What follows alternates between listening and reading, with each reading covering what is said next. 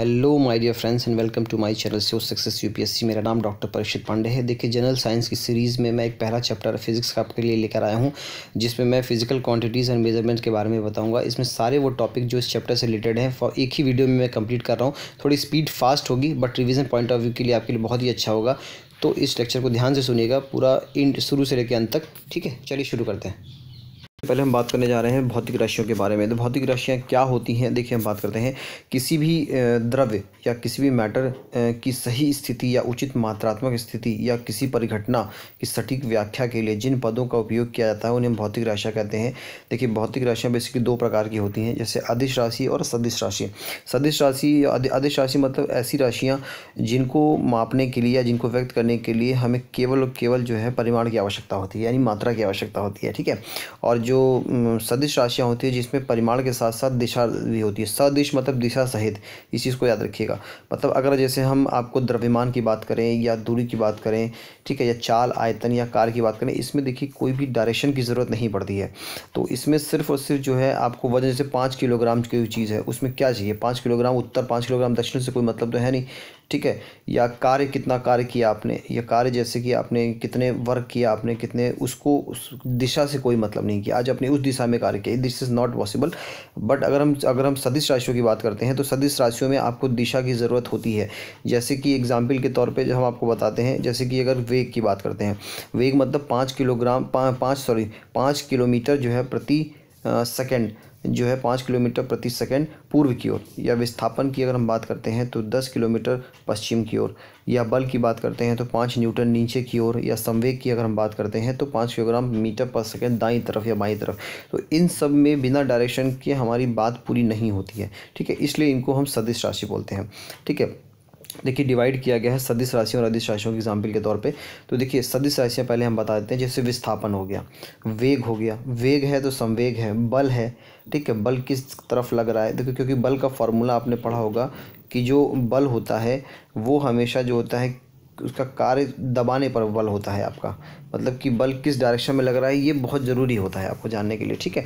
जैसे त्वरण हो गया, वज़न वज़न हो गया, ठीक है? विद्युत धा, विद्युत क्षेत्र हो गया, चुंबकीय क्षेत्र हो गया, विद्युत तीव्रता हो गई या विद्युत धारा हो गई, ये सब चीज़ हो गई। अधिश राशियों की हम बात करते हैं तो अधिश राशियों में आपकी दूरी हो गई, चाल, शक्ति, ऊर्जा, लंबाई, क्षेत्रफल, ठीक है? और घनत्व, तापमान, कार्य, विद्युत धारा, ठीक है? ये सब चीज़ें आपकी अधिश राशियों में आ जाती हैं, ठीक है? देखिए, भौतिक राशियों को जो क्या होता है कि जो हम प्रेजेंट करते हैं बेसिकली या जो वर्गीकृत करते हैं इनको बेसिकली वो दो राशियों में वर्गीकृत करते हैं। एक तो मूल राशियाँ और एक व्युत्पन्न राशियाँ। मूल राशियाँ मतलब वो होती हैं जो मतलब जो किसी के साथ कंबाइंड में नहीं रहती, जैसे लंबाई, आपका द्रव्यमान, समय, ये सब होता है। और जो व्युत्पन्न राशियाँ होती हैं, जो मतलब इन दोनों को मिला के बनी होती हैं। जैसे कि अगर आप बात करें चाल चाल दूरी और समय को मिलाकर बना होता है, ठीक है? जैसे त्वरण, वेग परिवर्तन की दर को हम त्वरण बोलते हैं, ठीक है? Change in velocity per unit time ठीक है? तो ये सब जो होती हैं, ये व्युत्पन्न राशियाँ होती हैं, जो कि मूल राशियों से ही बननी होती हैं, ठीक है? चलिए हम नेक्स्ट अब बात करते हैं मापन की इकाई, यानी किसी भी कैसे माप किया जाता है भौतिक राशियों का, उसके बारे में हम बात करते हैं। तो मापन के लिए बेसिकली जो है याद कीजिए सभी भौतिक राशियों को मापने के लिए दो तथ्य आवश्यक होते हैं, एक तो उसका न्यूमेरिक वैल्यू और एक उसका इकाई, यानी कि जैसे कि जैसे अगर भार आप माप रहे हो, यानी पाँच किलोग्राम। तो पाँच यहाँ पर न्यूमेरिकल वैल्यू हो गई और किलोग्राम जो होती है उसकी इकाई होती है। ठीक है, जैसे पाँच लीटर। पाँच लीटर मतलब पाँच आपका न्यूमेरिकल वैल्यू हो गई और इकाई जो है आपकी लीटर हो गई इसमें यहाँ पर। ठीक है यूनिट्स क्या होती हैं? देखिए यूनिट दो तरह तरह की इसमें भी वैसे ही बताया गया है, मूल मात्रक और व्युत्पन्न मात्रक। किसी भी भौतिक राशि को मापने के लिए अंतर्राष्ट्रीय रूप से स्वीकृत मानक को इकाई या मात्रक कहा जाता है। भौतिक राशियों के एक निश्चित परिमाण को मानक मानकर तथा उन्हें विभिन्न नाम देकर संबोधित राशियों, संबंध सॉरी संबंधित राशियों के मात्रकों का निर्माण किया गया है। मात्रक दो प्रकार के होते हैं, एक मूल मात्रक और एक व्युत्पन्न मात्रक। ठीक है, अब हम बात करते हैं, देखिए, मूल मात्रक की। तो मूल मात्रक, देखिए, क्या होता है, वही मैं आपको पीछे जैसे बताया था कि जिसमें मूल राशियों को व्यक्त किया जाता है। ठीक है, जैसे लंबाई के लिए मीटर और समय के लिए जो होता है, आपका सेकंड हो गया। ठीक है, और ये सब चीज़ें हैं इसमें। और व्युत्पन्न मात्रक की हम बात कर रहे हैं तो व्युत्पन्न मात्रक में जैसे जो उन दोनों से मिलकर बना होता है, जैसे कार्य बल कार्य बल इंदु विस्थापन जैसे होता है, ये सब चीज़ें होती हैं। इसमें एक द्विमाएँ होती है डायमेंशन जिसको यूनिट बोलते हैं, जैसे किसी भी जो लंबाई, चौड़ाई, ऊंचाई, इसको किस चीज़ से रिप्रेजेंट करते हैं? लंबाई को एल से, ताप को कैलविन से पदार्थ की मात्रा को मोल से, द्रव्यमान को एम से, विद्युत धारा को ए से, और समय को टी से, और ज्योति तीव्रता को आपको कैडमियम सी डी से अब देखिए, हम देखते हैं इसमें जो भौतिक राशियाँ हैं, उनकी व्युत्पत्ति, उनका व्युत्पन्न मात्रक और उनका विमी सूत्र का क्षेत्रफल लंबाई चौड़ाई, यानी metre into metre metre square हो जाता है। आयतन लंबाई चौड़ाई ऊंचाई होता है, metre into metre into metre metre cube होता है। एल थ्री से नोट करते हैं। इसको फटाफट ज़्यादा टाइम नहीं लगेगा, इसको ख़त्म करते हैं। ठीक है? उसका घनत्व की बात करते हैं तो घनत्व जो होता है, आपके density equal to mass upon volume यानी द्रव्यमान बट आयतन होता है। मास होता है किलोग्राम और आयतन मीटर क्यूब होता है तो इसलिए किलोग्राम मीटर क्यूब इसका हो जाएगा। ठीक है? ठीक है उसका वेग वेलोसिटी क्या होती है? Velocity is equal to displacement upon time यानी कि विस्थापन बटा समय, विस्थापन का मात्रक मीटर होता है और सेकंड होता है तो मीटर पर सेकंड ठीक है? और अगर हम त्वरण की बात करते हैं तो change in velocity per unit time बोलते हैं। So change in velocity per unit time that means कि आपका त्वरण जो होता है, वेग परिवर्तन की दर को हम त्वरण बोलते हैं। वेग परिवर्तन that means metre per second और सेकेंड हो जाएगा तो मीटर पर सेकेंड स्क्वायर हो जाएगा। ठीक है संवेग इस मास इंटू वेलोसिटी संवेग मास इंटू मास का मीट किलोग्राम हो जाएगा वेलोसिटी का आपका मीटर पर सेकेंड हो जाएगा that is kilogram metre per second ठीक है? बल का मात्रक द्रव्यमान गुणे त्वरण F equal to M A होता है द्रव्यमान का मात्रक किलोग्राम होता है त्वरण का मात्र मीटर पर सेकेंड स्क्वायर होता है इसलिए kilogram metre per second square बोलते हैं इसको। आ, इसको न्यूटन भी कहा जाता है बल का मात्रक न्यूटन भी होता है ठीक है?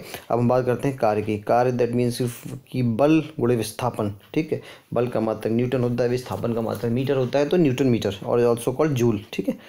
अगली पॉइंट की बात करते हैं, शक्ति है पावर कार्य करने की जो क्षमता होती है, वही आपकी शक्ति होती है, ठीक है? यानी कि जो कार्य करने की क्षमता है W by T per unit work में जो आप वर्क करते हो दैट इज़ शक्ति, ठीक है? जूल पर सेकंड में इसको यूनिट करते हैं, या इसको हम वाट भी बोलते हैं, ठीक है? वाट अब हम बात कर रहे हैं, अगला पॉइंट है इसमें आपका देखिए दाब. दाब यानी कि प्रेशर प्रेशर यानी कि ये होता है आपका जो भी आप फोर्स करते हो पर यूनिट एरिया यानी force upon area that is क्षेत्रफल. तो बल का मात्रक न्यूटन होता है क्षेत्रफल का मात्रक मीटर स्क्वायर होता है इसे न्यूटन पर मीटर स्क्वायर या इसको पास्कल से डिनोट करते हैं ठीक है?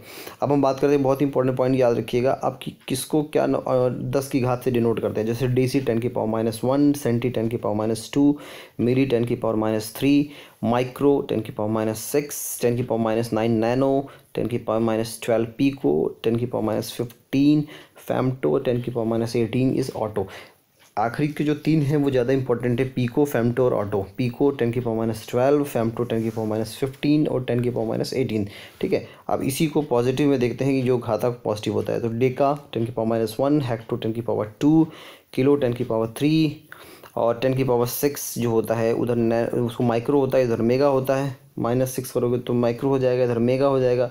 फिर गीगा आ जाएगा टेन की पावर माइनस टेन की पावर सॉरी नाइन फिर टेन की पावर ट्वेल्व, उधर माइनस ट्वेल्व करोगे तो पीको रहता है, इधर टेरा रहता है, उधर टेन की पावर माइनस फिफ्टीन करोगे तो फैमटो रहता है, इधर पेटा रहता है, और टेन की पावर माइनस इधर ऑक्टा रहता है, इधर एक्सा रहता है, ठीक है? अब हम बात कर रहे हैं अगले पॉइंट की तो किलोग्राम किलोमीटर को अगर मीटर में कन्वर्ट करना या माइक्रोमीटर को मीटर में कन्वर्ट करना पीको मीटर ये सब चीज़ें ऐसे ही आपको ध्यान रखनी है, इसको थोड़ा नॉर्मल है, ये पढ़ाई होगा आपने सबने ठीक है, अब हम बात करते हैं तीन जो सिस्टम होते हैं यूनिट्स के लिए, भौतिक राशियों को मापन के तीन यूनिट होते हैं M K S C G S और F P S M K S that is metre kilogram second के बाद फिर सीजीएस में आपका सेंटीमीटर ग्राम सेकंड होता है और एफपीएस में आपका फुट पॉइंट सेकंड हो जाता है, ठीक है?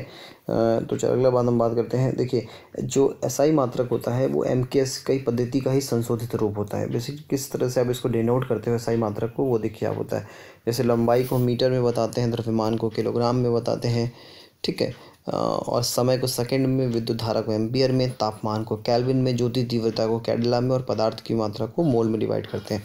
देखिए एसआई पद्धति के दो संपूरक मात्रक या सप्लीमेंट्री यूनिट भी होते हैं, जैसे एक होता है प्लेन एंगल और एक होता है सॉलिड एंगल प्लेन एंगल जो कि आपका ट्राइंगल पे जो कि सॉरी जो आपका सर्किल पे होता है और सॉलिड एंगल जो कि आपका एक घन पे होता है। ठीक है, इस चीज़ को ध्यान रखिएगा।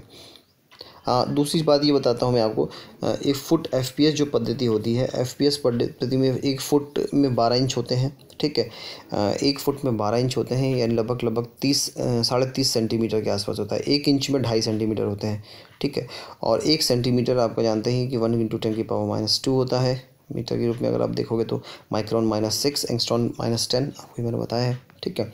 और अगले हम बात करते हैं अब देखिए खगोल की जो इकाई होती है खगोल की इकाई दैट मीन्स कि एस्ट्रोनॉमिकल जो आपकी यूनिट होती है, वो आपकी एक तरह से दूरी का मात्रक होता है।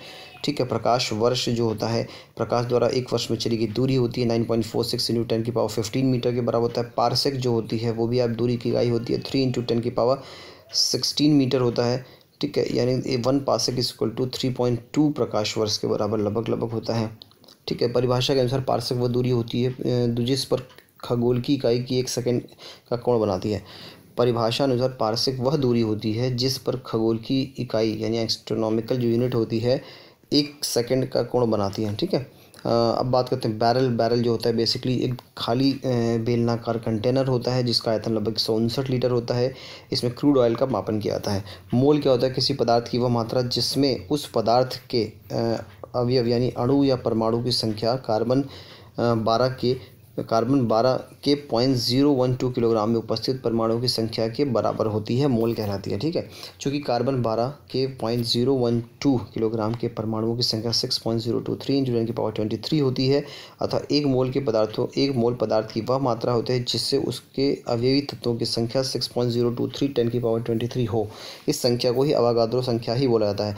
डॉप्सन जो होती है, ओजोन की मोटाई को नापने के लिए याद किया है क्यूसेक जो होती है, वो आपके पानी के बहाव को नापने के लिए की जाती है, क्यूबिक फिट पर सेकेंड होती है, बार जो होती है वो दबाव को मापने के लिए किया जाता है, एक बार लगभग जो होता है, एक लाख पास्कल के बराबर होता है, ठीक है, जूल जो है वो कार्य तथा ऊर्जा का मात्रक होता है, थर्म जो है वो ऊष्मा का मात्रक होता है गुलाम विद्युत आवेश का मात्रक होता है, वोल्ट विभवांतर का ओम विद्युत प्रतिरोध का मात्रक होता है, वाट शक्ति का मात्रक होता है और मेगा वाट जो होता है, आपका विद्युत केंद्र मतलब बिजली का मात्रक होता है, ठीक है, इस चीज़ को ध्यान रखिएगा। अगला पॉइंट हॉर्स पावर जो होता है, शक्ति का मात्रक होता है, एक हॉर्स पावर सात सौ छियालीस वाट के बराबर होता है, एक किलो वाट जो होता है, वो आपका three point six mega joule के बराबर होता है मैक जो होता है, वो स्पीड का मात्रक होता है, बहुत ज़्यादा तीव्र चाल होती है, जैसे सुपरसोनिक यानी supersonic more than one mach और hypersonic that is more than five mach ठीक है, सोनार क्या होता है कि साउंड नेविगेशन एंड रेंजिंग जब किसी भी, जैसे समुद्र के नीचे कोई भी ऐसी वस्तु का पता लगाना होता है तो इस, इन इसका यूज़ किया जाता है। जैसे पराश्रव्य तरंगें होती हैं पंडुबियों के नौका वाहन में उपयोग किया जाता है। वॉट इज़ नॉट समुद्री जहाज़ की गति को नापने की इकाई, समुद्री जहाज़ की गति को नापने की इकाई होती है। एक समुद्री मील प्रति घंटे की चाल को एक समुद्री मील प्रति घंटे चाल को हम नॉट कहते हैं। रेडार क्या होता है कि इस रेडियो एम्पलीफिकेशन डिटेक्शन रेंजिंग ये होता है, सूक्ष्म तरंगों के उपयोग से किसी वस्तु की स्थिति का पता लगाने का कार्य किया जाता है। वायुयानों, परिचालनों में हेतु हवाई अड्डों में इसको यूज़ किया जाता है। रेक्टर स्केल जैसे भूकंप नापने के लिए सिस्मोग्राफी का यूज़ करते हैं, ठीक है? अब अलग चीज़ देखिएगा अब हम बात करें पाउंड की। पाउंड मतलब होता है लगभग सोलह ऑंस एक ऑंस में अट्ठाईस ग्राम होते हैं। एक पाउंड में लगभग सोलह ऑंस होते हैं, लगभग साढ़े चार सौ ग्राम होता है। एक किलोग्राम, एक हज़ार ग्राम के बराबर एक कुंटल में सौ किलो और एक मीट्रिक टन में एक हज़ार किलोग्राम होता है। ठीक है, दूरी में बात करते हैं। एक मील लगभग जो होता है डेढ़ किलोमीटर के आसपास होता है। एक समुद्री मील वन पॉइंट एट किलोमीटर के आसपास होता है और एक खगोल की इकाई one point four nine five into ten की पावर एलेवन मीटर के बराबर होता है। समय की बात करते हैं, चंद्रमास सौर मास और लीप वर्ष क्या होता है? चंद्रमास अट्ठाईस दिन को बोलते हैं, चार सप्ताह को। सौर मास तीस दिन या इकतीस दिन को बोलते हैं, या अट्ठाईस उनतीस दिन को बोलते हैं। लीप वर्ष उनतीस दिन, तीन दिन को बोलते हैं, फरवरी में उनतीस दिन हो तो। मापक के अंदर बात, अलग अलग हम बात करते हैं, ठीक है? देखिए, सबसे पहले हम बात कर रहे हैं आपके बैरोमीटर, जो कि वायुमंडल दाब को मापता है। ऑडियोमीटर, ध्वनि की तीव्रता को मापने के लिए। ओडोमीटर, वाहन द्वारा तय की गई दूरी को मापने के लिए। ऊंचाई मापने के लिए। अल्टीमीटर पौधों की वृद्धि मापने के लिए ऑक्सीजनोमीटर की नाप करते हैं।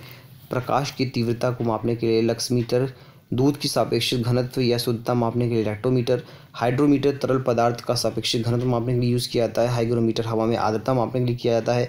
मैनोमीटर गैसों का दाब मापने के लिए, गैल्वेनोमीटर विद्युत धारा की उपस्थिति जानने के लिए अमीटर विद्युत धारा मापने के लिए एनीमोमीटर जो होता है, वायु गति मापने के लिए वोल्ट मीटर विभवान्तर मापने के लिए सिज्मोग्राफ जो होता है, भूकंप की तीव्रता नापने के लिए, थर्मामीटर ताप मापने के लिए और पायरोमीटर जो होता है, उच्च ताप मापने के लिए, यानी more than fifteen hundred degree Celsius carat metre स्वर की शुद्धता मापने के लिए स्टेथोस्कोप जो आपकी हार्ट की ध्वनि सुनने के लिए, ठीक है? स्विग्नोमैनोमीटर बीबी नापने के लिए फैदोमीटर समुद्र की गहराई नापने के लिए टैकोमीटर आरपीएम नापने के लिए पायर पायर हेलियोमीटर्स और विकिरण मापने के लिए, फोनोमीटर, ध्वनि की तीव्रता नापने के लिए, स्पेक्ट्रोहीलियोग्राफ, सूर्य की फोटोग्राफी के लिए, कार्डियोग्राफ, हृदय की गति नापने के लिए, पॉलीग्राफ, झूठ का पता लगाने के लिए और बोलोमीटर जो होता है, तापमान में परिवर्तन का माप तथा ऊष्मी विद्युत चुंबकीय विवरण माप का मापने के उपयोग में किया जाता है।